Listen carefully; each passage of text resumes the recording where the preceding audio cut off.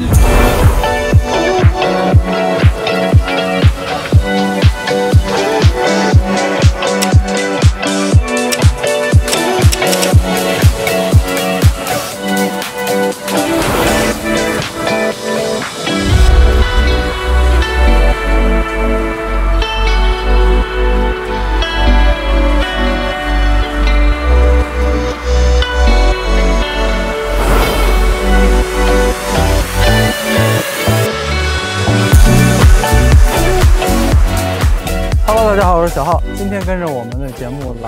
Encino 这栋城市，为大家分享一栋非常特别的房子。每次都说非常，大家有点无聊啊。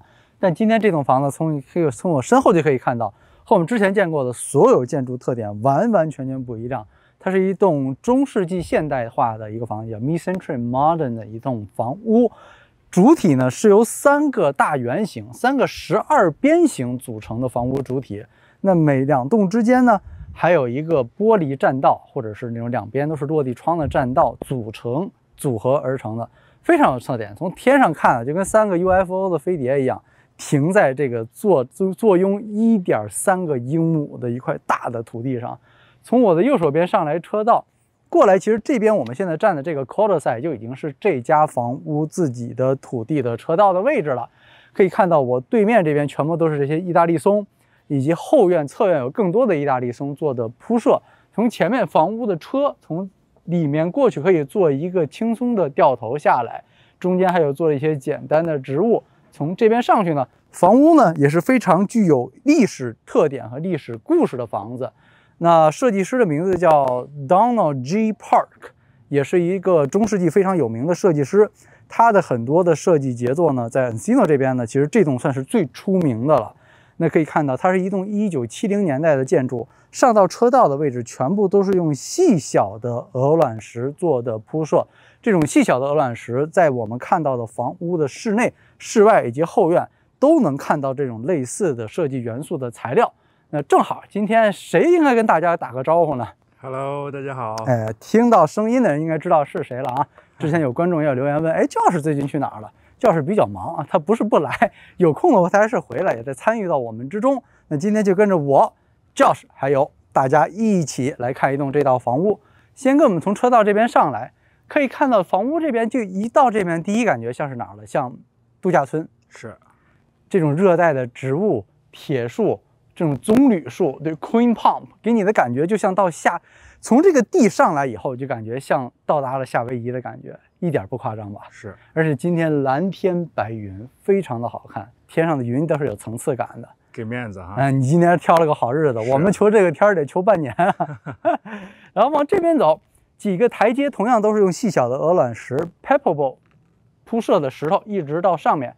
那我们左右手边，我现在这边呢，可以看到它是一个车道。后面呢是一个室内停放的三车库，它里面改成游戏室了。因为这种房子呢，现在也是面对市场做短租的房子，并不是在售。呃，最后跟大家说这种房子之前的一些成交的信息和大家分享。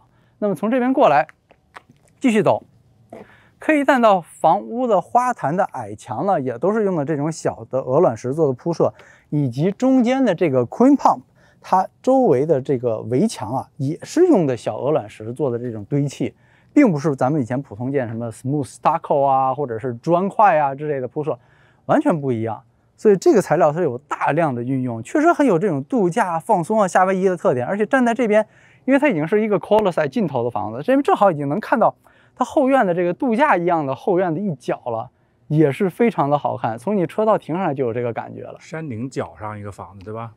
是没错，山最高最尽头。然后它是有一个将近两百度的一个全景的景观，私密度是最好的一个地儿，私密度没话说，没有比它高的这个山头了，对不对？所以你说 Encino 真是个宝地啊，这么多地方有介绍完啊，那边是去车的地方，车道很长。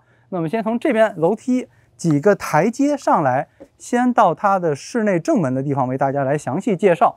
从这边过来可以看到有多个的大型的花坛，所谓的花坛，但它种的都是各种植物啊、树啊、铁树啊。真的是给你一种非常浓厚的度假的风格。那到这边可以看到房屋的一些主体的设计，哎，房屋的表面运用了大量的木板的元素，对不对？落地的窗户、落地的玻璃的元素，以及大量的碎石块的堆砌的石柱，给你一种感觉就是非常的原始的设计感，但它又不是，就是不是那种咱们以前看那种特别旧的老房子的感觉。那证明七二年、七三年那时候大家设计这个房子的时候，有考量过很多的元素。那么从这边转过来到正门的地方呢，侧面有一个小门啊，可以去它的第三栋十二边形的建筑。那正门这边呢，是一个叫 sunbrushed，像这种这种什么就完成的这种方式的这种双开门。嗯，这个门我们大概查了一下，就是二手的市场的最便宜，可能我们能买到的也要将近一万五千块到两千块，就这两栋门。哦，一万五到两万块，就二手的最便宜的了啊。那当然好一些的，包括咱们这个类似的这样情况，二手的大概五万左右。OK 啊，新的价格我们就不说了，对不对？所以就是可以看到，你很多这个房屋里面很多地方是非常非常有意思的。那么通过这个双开门呢，直接进去为大家展示它室内的细节。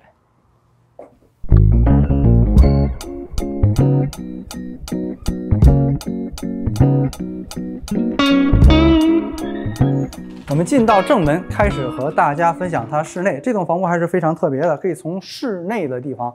看到这个 sunbrush 的这个门还是非常有特点的，哎，像阳光一样散开这种设计，是真没想到这个门这么贵啊！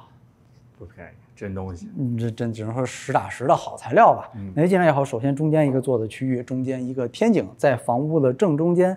房屋跟大家介绍过，有三个十二边形组成嘛，这是它最大的一个，也是它主要的起居室活动空间。中间天井挂着一个灯，复古的在中间这个位置。所有地面上的砖可以看见是一个围绕着中心点铺设的弧形的这种形态，往中间这种小砖、小花砖。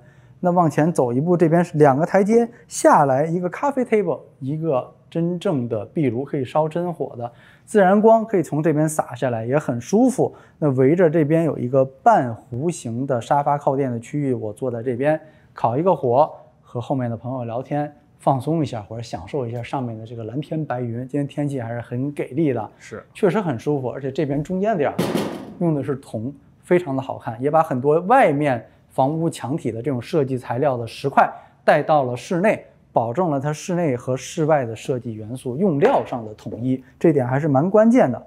那么再从这边走过来两步台阶下来呢，是它的主要的一个居座的区域。那有的人可能会觉得啊，这个。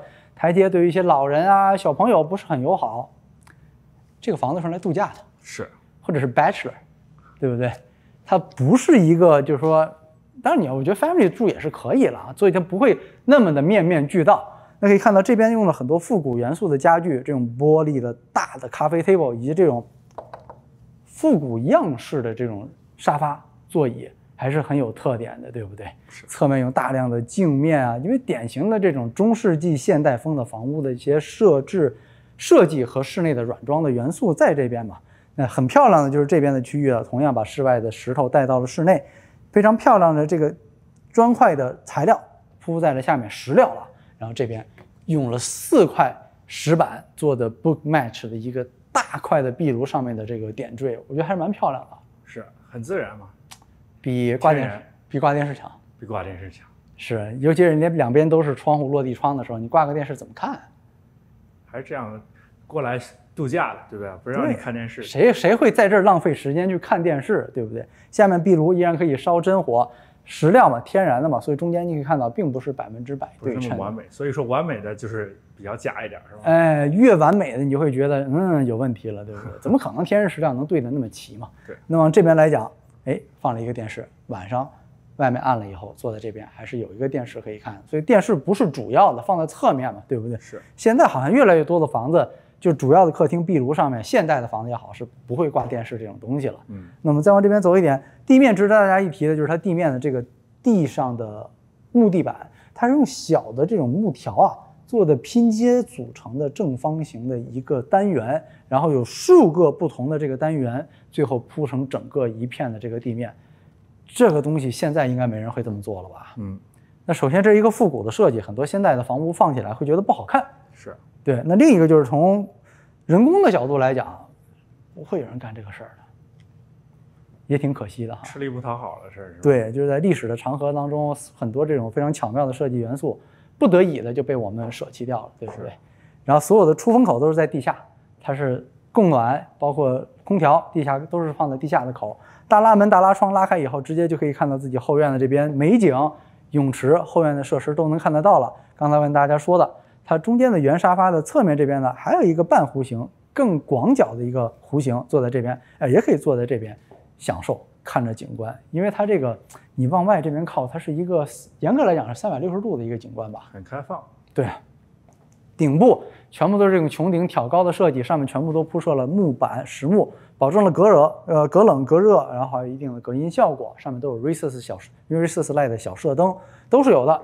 往这边，这种软垫的吧台，就是你还记得在哪儿看到过吗？上次那个古老的一个一个，就是以前 PV 那边那个老房子，我们看到过一个吧台，也是类似的设计。这边是个软靠垫，往这边走呢，所有房屋呢可以看到都是数字化的设计，灯、音响、空调，包括所有这些落地的这些窗帘，都是可以用它来直接控制的。全部所有的窗帘都是能够直接遥控它放下的，非常贴心啊！设计的现代化的这些设施全部考虑到了。高吧吧台这边呢，也是一个高低吧台台面的设计，这边有一个黄铜的洗手盆。一些数控的一些材料啊，iPad 啊，控制你的室内啊，包括这边还有更多的小的柜门、制冰机，全部都有。从这边拉开也直接可以去后院，这边是通向厨房的另一边。所以我觉得这个吧台服务整个这个休息坐的区域这点是 OK 的，没任何问题，设计也是很合理的。来，我们再上来一点，再往这边走，这个空间我们俩一进来以后就哇，就。又粉又紫，少女心的这种感觉一下就出来了。对我们俩这种钢铁直男就费点劲了。介绍起来，我们尽量，大家担待。进来以后呢，可以看到这个区域呢，就粉粉的、紫紫的，很可爱。包括这种像贝母啊、贝壳材料的这种饰品做的这个挂灯，哎，有风吹的时候，有点像风铃的声音能碰撞出来的。是这边一个小的早餐的就餐区域，非常的复古的感觉啊。从这边拉门拉开了，直接哎，看到这么好的景观，真是没话说，是不是？是。中间中岛台呢，就是它的 induction cooktop，这种电磁炉吧，就是那种烧电的，是不是？对。从这边打开，温度也挺高的啊。然后抽风在上面，这个哇，直接从屋顶就掉下来了。夸张，没必要啊。是 谁？没人在这儿做饭。对，弄个火锅，咱们在桌子上坐到室外烤个 barbecue 不都可以吗？是不是？来这边度假谁会做饭？然后这边那是啥？哦，抽烟机是这样的。对。我天。挺有意思吧？它的开关在这个地儿啊，古老，你就真的那就太远了。你说它这个系统这个线要怎么排？它要 OK，排除排除呃无无线蓝牙的话，它要从地下走线，从墙上绕上去，对啊，就上去。对啊，你说它它直接坐在这上面不可以吗？嗯，是就不要 就不要就要多花钱。从这边过来到它的这边主导台的区域啊，这个东西给大家。留一个伏笔，大家看看有没有人知道是什么啊？它操作是这个样子的，电动的啊，这是电动的，牌子呢是 e m o d o 这个牌子，有没有见多识广的朋友知道是什么？我们知道这是什么，答案最后我们会留在这个评论区里面，告诉大家这是什么东西。这个二手的能用的状况好的，好像我看 eBay 上还是在 OfferUp 上面能卖到三百三百多块钱哦，是吗？嗯，不可思议啊，这东西有三四十年了，可以，就复古的这种小件吧。往这边再走。洗碗机，更多的这些抽屉，哎，这些抽屉真的是可爱。你看这粉嫩粉嫩的，你看粉嫩粉嫩的，抽出来以后，切菜板，这是块切菜板，直接在这个位置，对不对？然后包括它这个抽屉里面也都刷了粉的颜色，统一了。然后中间岛台这边是用的紫色，往这边有一个非常大的 picture window，从这边可以看到你的后院，barbecue 景观泳池，非常的漂亮，一个非常大的 sink。那到这里面再问大家一个问题了啊，这个是我们都不知道是什么的，有没有人知道这是什么东西？它也不能动，也不能拿起来。我们在想它是不是一个什么设施或者有什么具体的功能，想不到。看有没有见多识广的朋友啊？我们一般的评论区里可能都卧虎藏龙。评论区见，评论区见。Microwave 放在脚上，一个面包的 toast。那这边呢是 Sub Zero 的冰箱，可以看到这种设计已经是很老的 Sub Zero 冰箱了啊。依然工作非常的棒，没有任何的问题。再就是品质，Sub Zero 这品质还是确实可以的。是美国的汽车不可靠，但美国的冰箱还是可以的。汽车不可靠，这个话说的 得罪太多人了。这个东西四十年、三四十年是有了，一点问题没有。是。那么再往这边走，它它中间的岛台这个位置可以看到是它的啊，不是岛台了，就橱柜的系统是围着中间的这个立柱去做的，所以它是一个弧形在这边的，很多收纳的空间啊，包括这边啊烤箱啊还都比较新，放在了这边，里面所有的收纳的物品全部都准备好了。那我们跟着再往这边走，厨房这边是地砖，过来以后中间的这个沿用的碎石的材料还是跟室外一样。到了这边的区域，这边区域地上又回到了地砖的这个空间。左边是一个镜面墙折射，就是 Mid Century 的房子很多都是这个设计，挺漂亮的。哎，有些五彩斑斓的斑光斑光斑的感觉。右手边这边也是做了一个小的复古区域，收音机呀、小的挂灯啊，哎，给一种年代的穿梭感。就进到这个房子，就感觉像吃了一个时间胶囊一样，瞬间回到了三十年前的感觉，让大家时间都慢下来，知道我们这些人到底是错过了哪些东西，对不对？还是蛮有意思的。我们再到这边来，过来啊，身后这个门啊，过去以后是一个通道，一会儿是它第三个十二边形的区域，ADU 嘛，为大家介绍。但是还有一点要多说一下啊，就这边拐过去左手边这个墙的后面啊，它是有一个半位的 powder room，OK，还是挺漂亮的。这个小 powder room 不错，它是不通的，它没有顶的，就是你在厕所里面上厕所，上面是通的，你能看到这个屋顶的，OK，就就有点不文明的声音要在那儿发出来的话，这个空间或者是。不不是我，对不起朋友们，我们这个节目应该不是个十八岁进的频道。是，你怎么把我们带歪了？从这边主要就是，我担心什么知道吗？气味，你知道吗？要有人肚子不舒服的话，你知道？我觉得应该飘得过来吧。这个房子自己有自己的一种味道，是吗？它有自己的 powder room，谁没事到这儿来，对不对？是。再往这边来，过来餐厅。正餐区这边是 picture window，可以看到是个拉门了，可以全部拉开，直接到后面的这个 courtyard，也可以在户外吃饭，景观也不错，非常惬意。面对的是 hillside 的那一边，也有很多意大利松做了遮挡，隐私也是没有任何问题，因为后面没有人家，它是最高的一个位置。是这边放了一些简单的复古穿越的摆件，啊这个很漂亮的这种中世纪的桌椅，中世纪风格、中世纪现代风格的桌椅。老有人挑我刺儿，你知道吗？教授，所以我得我得说细了，知道吗？因为中世纪大家会和什么，就是会会从那个古典世纪和文艺复兴时期中间那个中世纪去去搞混，不是那个中世纪啊，啊，是中世纪现代风格。OK，五十年内的差别不是差别。哎，我天，这么说呢？呃，这边这个灯和刚才那个进来的那个下线式的做的区一样，都是这种复古的中世纪现代风的灯。灯具新的，专门找的这种风格还是蛮不错的。然后跟大家简单介绍一下房屋的基本信息啊，这个房子是六房六卫，室内面积呢六千八百一十一平方英尺，占地呢一点三英亩多一点点，一点三四吧，差不多这个左右。那现在呢是用来做短租的，可以租三十一天，它的租金的范围呢是三十一天三万五，还可以啊。我感觉比这个多，在别的平台上看。嗯，不一样，因为我们反正是从。管理公司那边直接拿到资讯嘛，有兴趣的朋友直接 Q 我们，我们把链接发给大家。我们没有任何提成的啊，不是广告，不是软广，只是有兴趣想来这边洛杉矶短住的，他好像也接受短住，就几天的。那价格肯定不是按三十一除三十一这么算了啊，可能稍微会贵一点。但所有东西大家都是包括了，你就带着自己的吃的和换洗的衣服来就可以了。整个居住的休息的活动空间为大家介绍完了，后面是它的休息的睡房区域。那我们。跟着大家去看一看。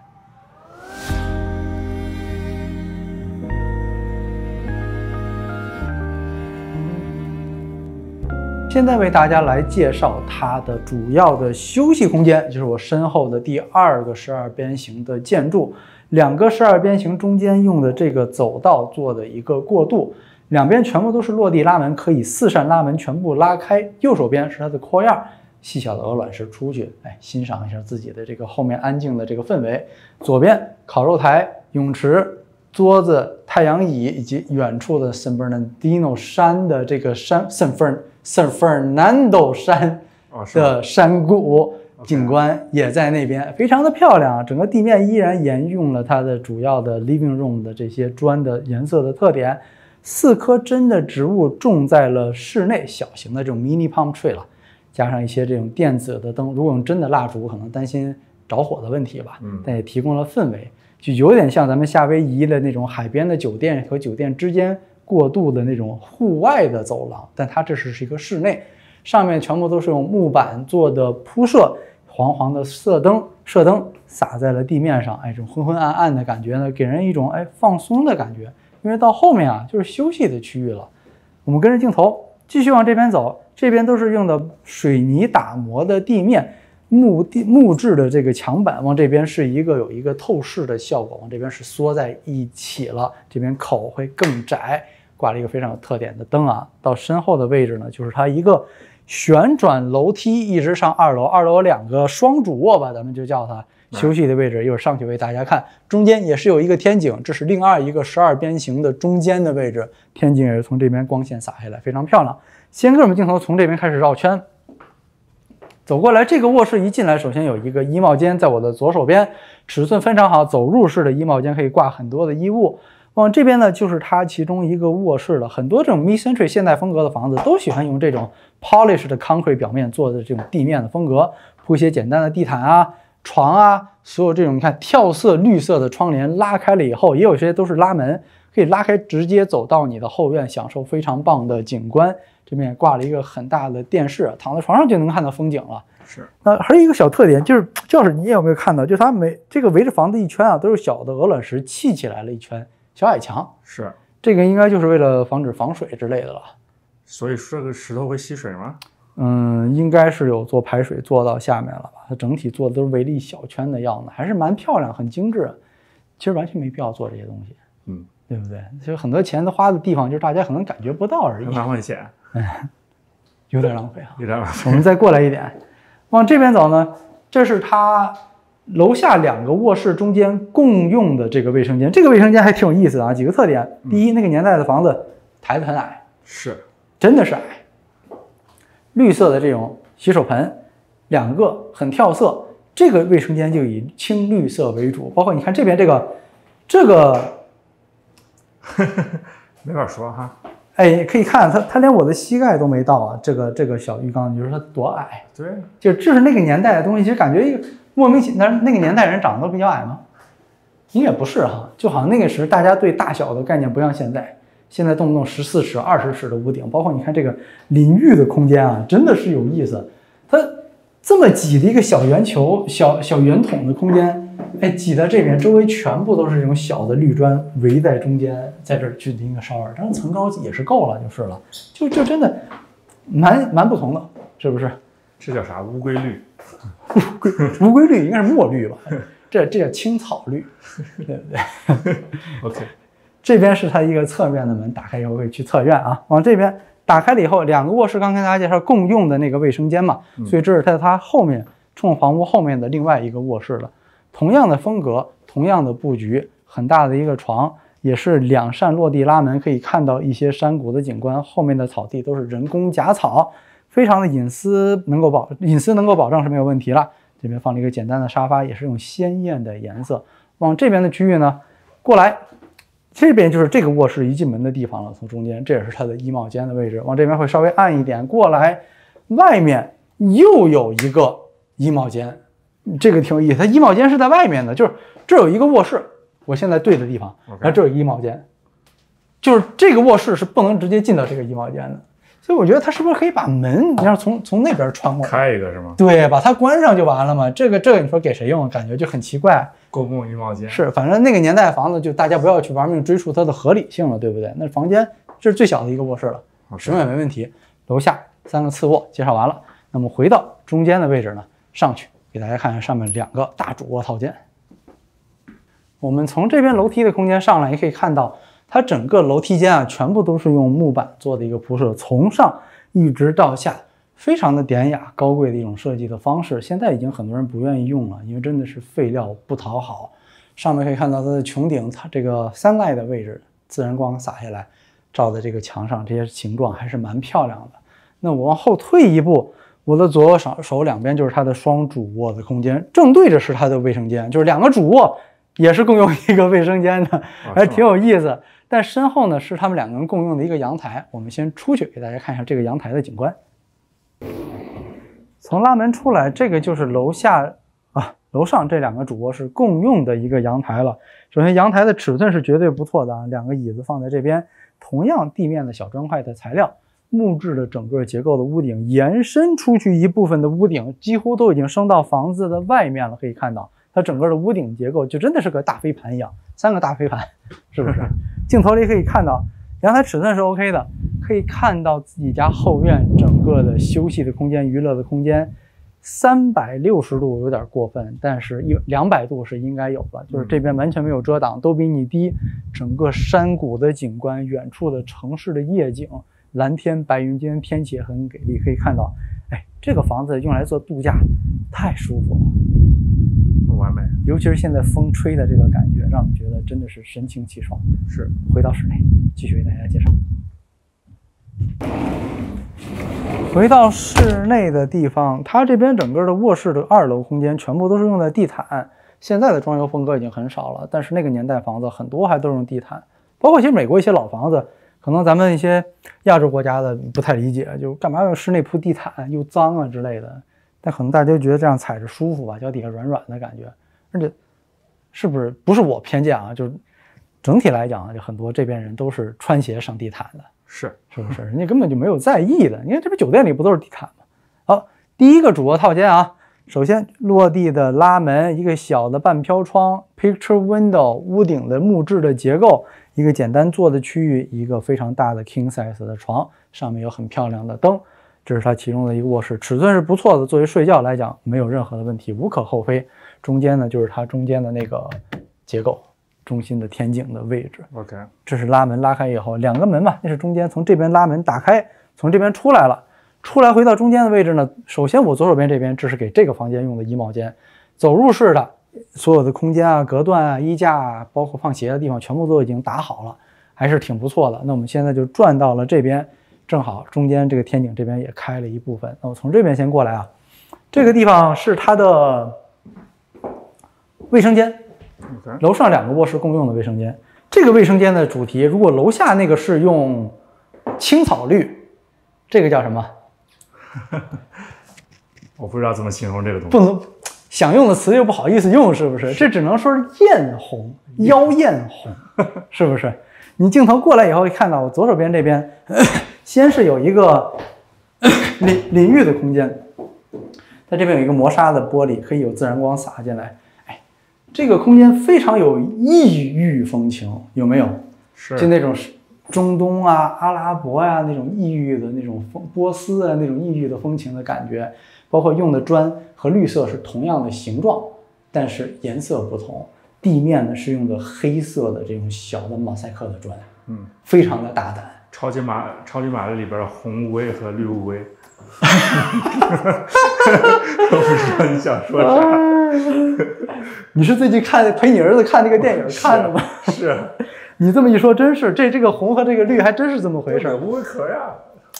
然后往这边过来，这是它的这个一个洗洗手盆啊，你也可以看到和那个洗手盆是一模一样大小的，就是颜色不一样。这真是适合小孩儿。你镜头再过来到这边一点，你看它这块。它这边还有一个单独的小的小阳台，它是有一个小的旋转楼梯下去的，到后院的。下下后院我不知道是干什么用啊，反正后面没有邻居，Hill side 看不到你。想干啥来着？逃逃生，没必要吧。然后往这边走啊，就看到这个浴缸了。你说，不知道想咋表达这个事情？是他就是为了不需要抬太高的脚可以迈进去吗？因为之前咱们那个老房子也看了，浴缸也是坐在就嵌有一部分嵌在地底下的。对，人家至少嵌进去之前有个台阶儿，你上去是吧？嗯，你还记得吗？好像是有个一阶的样子了。但你说这个浴缸也是黑色的，我从来没有泡过黑色的浴缸，也没有用过黑色的马桶，更没有用过黑色的台面。真的是马桶是吗？黑色的马桶是 对不对？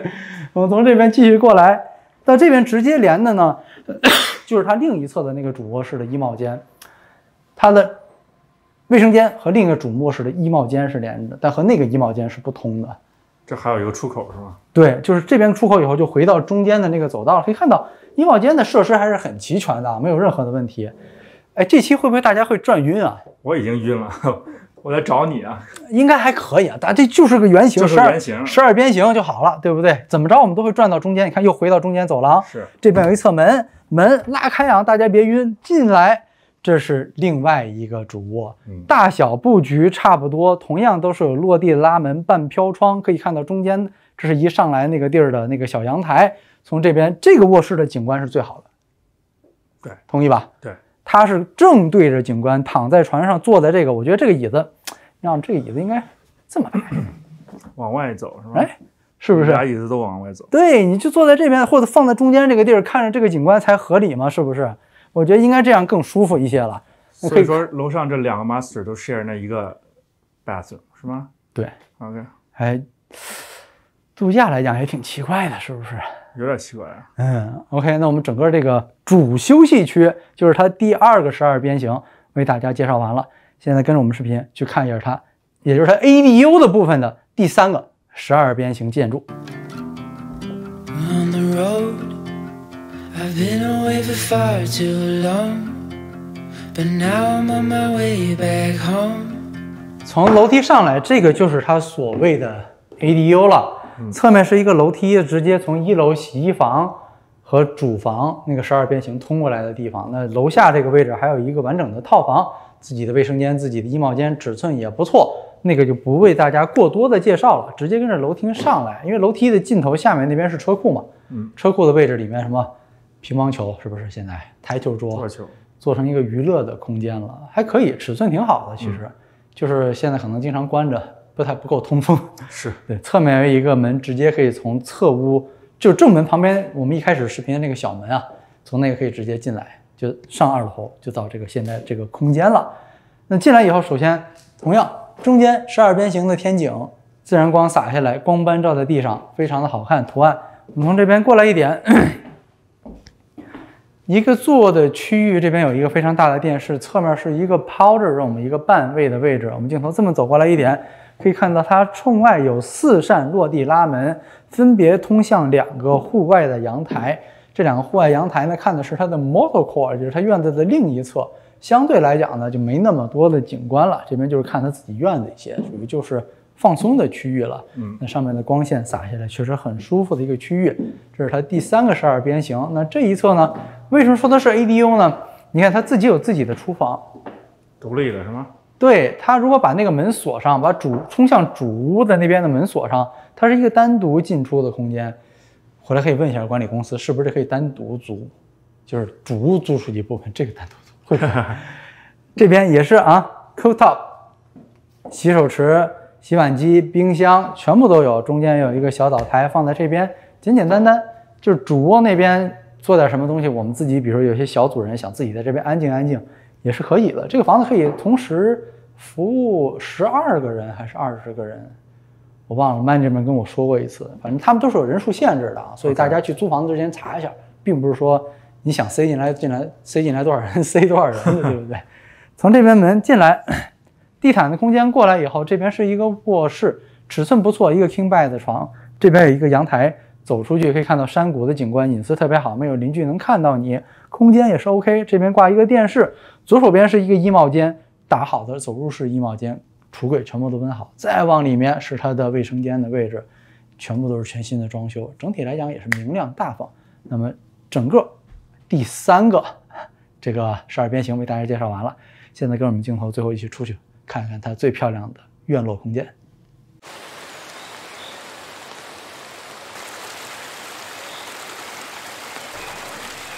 我们现在呢走到后院，为大家来介绍正正式介绍它的后院的位置啊。可以看到，进来以后，室内室外同样的地砖延伸铺到了地面，呃，室外的地方这边一个高台的位置，可以看到一个圆形、半圆形的高台，非常的漂亮的空间。往这边走，我的右手边这边一个更多坐的区域，后面有挂的是它的这个厨房的 picture window，可以看到室内。这边是它一个 barbecue 的烤肉台。烤肉台呢，跟大家介绍了，也是用这个细小的这种鹅卵石做的铺设，以及下面的碎石的石块做的堆砌的台面，很漂亮。我们镜头稍微跟着一起过来一点，往这边走，有台阶的地方呢，可以直接下去到它下面的位置，为大家继续介绍。两节台阶走下来，所有下面一层的地面全部都是用的细小的鹅卵石做的铺设。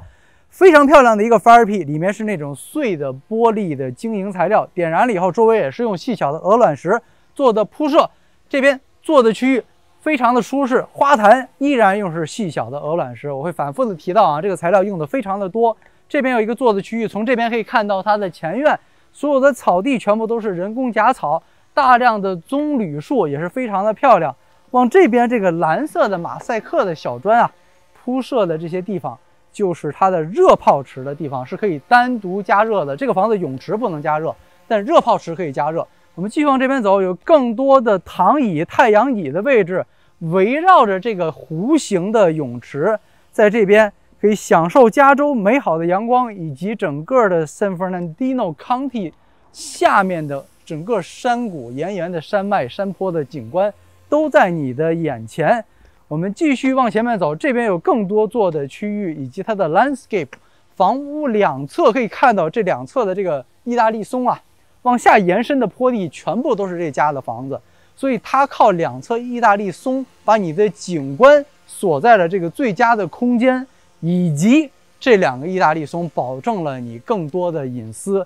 这些松树也要花很多钱的，对不对？我们紧接着上来到这边，回到这里。